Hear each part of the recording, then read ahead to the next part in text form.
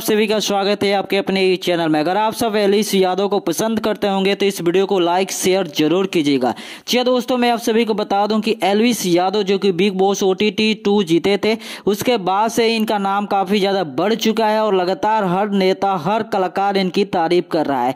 खबरों की माने तो योगी आदित्यनाथ और एलविस यादव की एक सदाचार मुलाकात होने वाली है, जो इसके बारे में मैं पूरी खबर आप सभी को बताने वाला हूँ। तो आप लोग वीडियो को अंत तक ज़रूर देखिएगा। जी हाँ दोस्तों मैं आप सभी को बता दूँ कि एलविस यादव फ़िलहाल इस समय थाईलैंड में है जो कि अपने गाने की शूटिंग कर रहे हैं। उसके अलावा जब वो थाईलैंड से एक, एक बार फिर से जो भारत आएँगे तो उसके बाद वो योगी आदित्यनाथ से मिलने वाले हैं क्योंकि बहुत ही बड़ी खबर आ रही है कि योगी जी उनको सम्मानित करेंगे जो कि हाल ही में Bigg Boss OTT season two के जो विनर बने थे एलविस यादव जो कि उनके फैंस के लिए भी काफ़ी बड़ी बात है। क्या आपको लगता है कि योगी जी मिलेंगे एलबिस यादव से कमेंट में अपनी राय ज़रूर दीजिएगा। फ़िलहाल इस वीडियो में इतना ही।